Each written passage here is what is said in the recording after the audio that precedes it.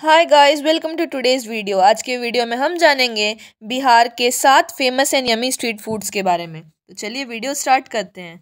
बिहार के हर गली मोहल्ले की शान फुचका।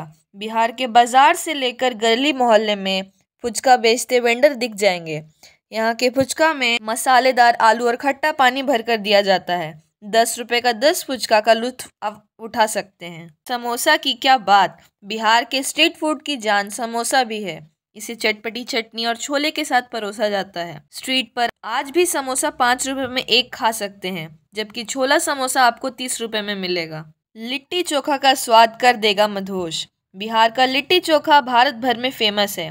मसालेदार सत्तू से भरे लिट्टी को घी में डुबाकर बैंगन और आलू के चोखा के साथ खाने का आनंद स्वर्ग से परे है। बिहार में स्ट्रीट फ़ूड में एक और नाम है घुगनी सफ़ेद और काले चने से बने घुगनी के ऊपर, जब कच्चा प्याज बारीक काट कर सर्व किया जाता है तो खाने के बाद मन खुश हो जाता है। बिहार का चटपटा चाट खाकर दूसरे जगह की चाट को आप भूल जाएँगे। गर्म तवे पर आलू टिक्की में कच्चा टमाटर और छोले मिलाकर जिस तरह से चाट तैयार किया जाता है, वो हेवनली होता है। बिहार में एग रोल एक अलग तरीके से बनाया जाता है।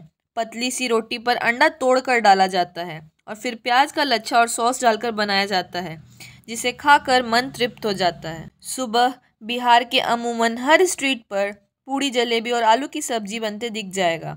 लोगों का यह फेवरेट नाश्ता है। तीस से साठ रुपए पेटी आपको अभी भी यहाँ खाने को मिल जाएगा। मीठे में अगर कुछ खाना चाहते हैं तो फिर बिहार का मालपुआ का स्वाद ले सकते हैं। तीस से पचास रुपए पीस ये मिल जाएगा। तो गाइज़ उम्मीद है आपको ये वीडियो अच्छी लगी होगी। ऐसी अन्य वीडियोस के लिए सब्सक्राइब करें हमारे चैनल को। Meet you in the next video. Till then, bye bye.